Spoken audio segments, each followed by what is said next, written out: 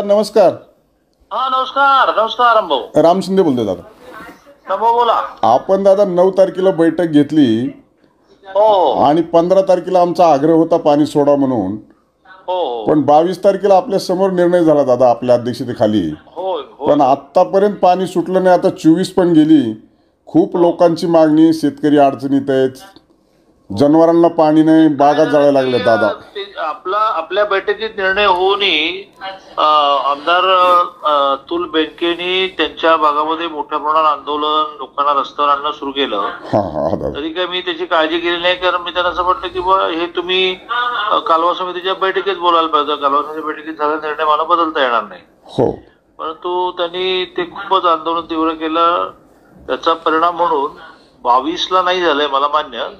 परंतु उद्या नक्की सुरू होईल आणि तसं अधिकाऱ्यांना सूचना दिल्या की बा आता फार दबावाला बळी पडू नका.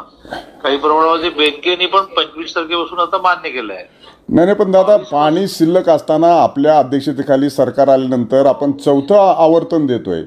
आणि पाणी असताना आपण शेतकऱ्याला पाणी देऊ शकत नसेल तर मग ही बाब गंभीर आहे. त्यामुळं अडचणी झाल्यात काय थोडी. ते टेक्निकल गोष्टी खूप उपस्थित करत राहिले किंवा हे नियमातच बसत नाही हे नाही ते नाही. मग शेवटी पाण्यासाठी पिण्याचं पाणी म्हणा किंवा शेताला पाणी म्हणा शेवटी शेताला पाणी आपण पाचतो ते माणसाला पाणी भाजण्यासारखंच आहे. हो. तर त्यात कशाला तुम्ही राजकारण आणताय? पण अं, त्यांनी खूपच वेठीस धरलं.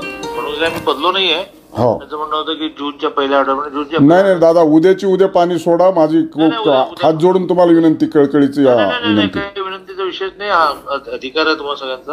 हो. उद्याच्या उद्या ते होईल काय? पूर्ण दाबाने उद्याची उद्या पाणी सोडा दादा. हो हो हो. Okay okay. धन्यवाद दादा धन्यवाद. नमस्कार.